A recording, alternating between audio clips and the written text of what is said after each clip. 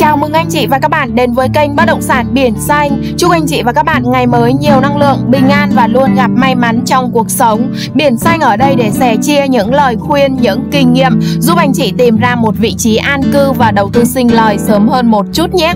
Trong video này thì em sẽ chia sẻ và giới thiệu đến anh chị mình một sản phẩm giá rẻ mới, một vị trí đẹp để anh chị có thể xây phòng trọ cho thuê hoặc là an cư lập nghiệp cũng như mua để dành để đầu tư sinh lời anh chị nhé.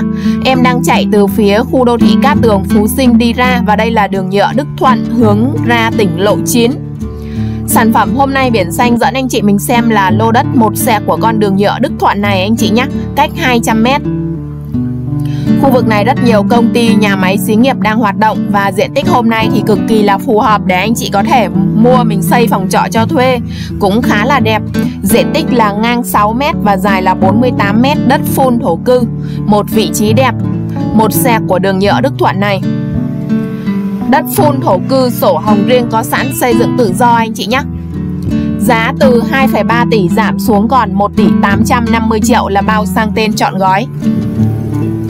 Đường này là đường đá xanh rộng 6 mét chạy thông. Xe tải là chạy vi vu. Đường này thông ra được tỉnh lộ 9 luôn anh chị nhé và với diện tích hôm nay ngang 6 dài 48 anh chị nào mình thiết kế xây một dãy phòng trọ cho thuê thì khá là đẹp. Mình có thể chừa ra khoảng 2 mét, mình làm đường đi vào và mình xây phòng trọ. Dài 48 cũng xây được khoảng gần 20 phòng.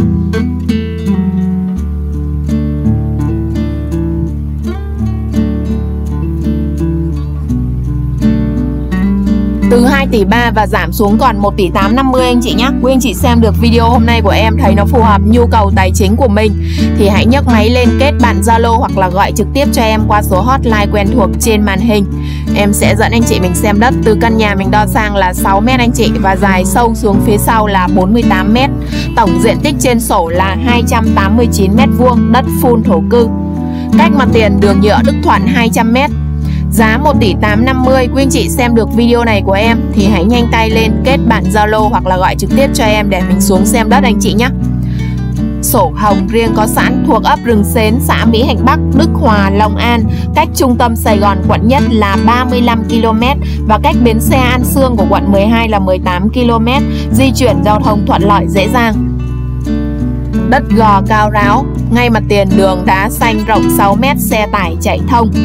Chúc anh chị và các bạn nhiều sức khỏe, bình an và gặp may mắn trong cuộc sống. Hãy nhấn vào nút đăng ký kênh, bật chuông thông báo để theo dõi nhiều video mới nhất nhé.